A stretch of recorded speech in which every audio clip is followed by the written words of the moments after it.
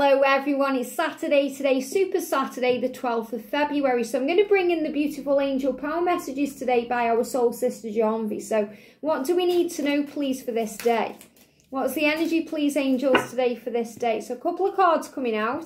So the message is illusion says don't be blinded to the truth. Tap into your intuition rather than your imagination. Now it's always good to connect with your imagination because that's how we visualize. And when we visualize we can materialize. When we see it in our mind we go there in the body. So this is more about rising through what the ego creates in our mind, what the ego creates in our imagination, because when the ego edges the goodness out and creates all that fear, it creates that false experience that appears to be real in our mind. So our imagination starts creating all kinds of crazy things that could go wrong, that might go wrong, that could happen, that put us into fear, stress, and anxiety. And it never works out that way at all.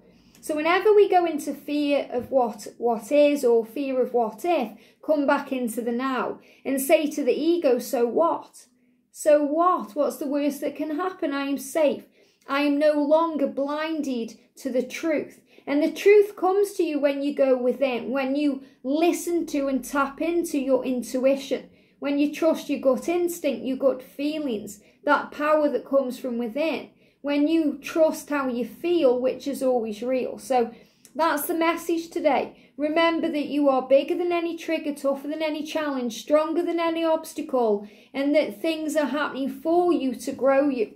We've also got spontaneity, but they give me it's spirituality, but they give me the word spontaneity. So it feels that today could be a day where things could happen quite quickly, and you have to think on your feet and go for what you want and remember that everything is happening for your soul growth and learning, for your spiritual journey. It says time to accept discipline and study higher values. So be spontaneous today with the things you're doing. Think on your feet and you know something is happening to you, especially any anger around, any anger with others. You know, people saying things to you that seem to be triggering to you or there's anger around, arguments, especially if you're dealing with Aquarius energy. You know, rise above it. See things from a higher perspective. Study higher values. And what that means is becoming the observer learning to respond with love instead of reacting with fear, trying to understand the point of view instead of being part of the point of view. And they give me fear, so releasing fear around a situation or things that have been said or done. So it's time to accept discipline and study higher values. So that means giving yourself credit for everything you've achieved in your life. You know, thinking on your feet, not being dragged into drama, disciplining yourself from that. So you may want to say no to things that don't serve you and yes to things that you that do.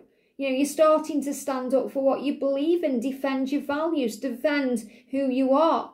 Because you know who you are, regardless of the illusion, what other people do or say. And you're learning to tolerate things in a much easier way because you're not rising to things that once triggered you. You know, you're seeing things a lot differently and it's putting you into a place of power and strength. So this card's moving on top of the deck too. We've got completion. It says, accomplish what you have set out to achieve and take responsibility. So you can see there we've got beautiful uh, jigsaw puzzle. And the last piece of the puzzle is being put in there. So all the pieces of the puzzle are now starting to be put into place. Things are starting to make a lot of sense to you.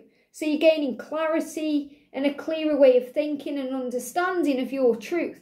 And that's because you're not being triggered by things and you are not being blinded to the truth because you are the light and you're seeing the way.